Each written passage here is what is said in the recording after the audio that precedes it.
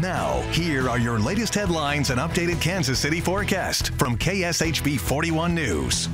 I'm Kevin Holmes. Here are your headlines for Sunday, September 12th. Masking has been hotly debated in our area, and Jackson County shut down Rae's Cafe in Blue Springs because the owner refused to enforce mask requirements.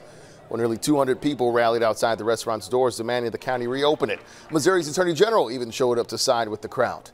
Jackson County leaders say the health department director has authority from state regulations to close a public or private assembly to protect public health. Monday marks the next steps in a review process for a man many say is wrongly convicted of triple murder. Attorneys on both sides of Kevin Strickland's case will meet to go over different motions in that case. An appeals court approved the Missouri Attorney General's request to delay Strickland's hearing earlier this month. Strickland has served more than 40 years for a crime the Jackson County prosecutor believes he did not commit. Monday's meeting will not determine if Strickland gets released.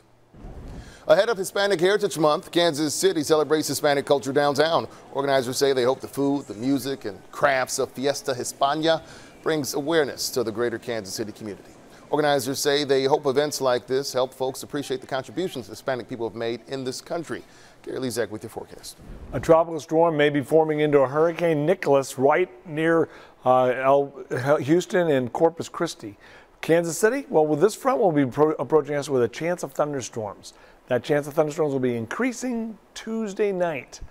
We need some rain. Tomorrow, 88 degrees, another warm, beautiful day, just a great summer afternoon.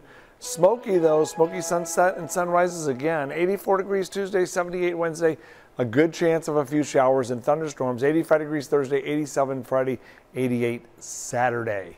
Remember to get your news and weather anytime at kshb.com.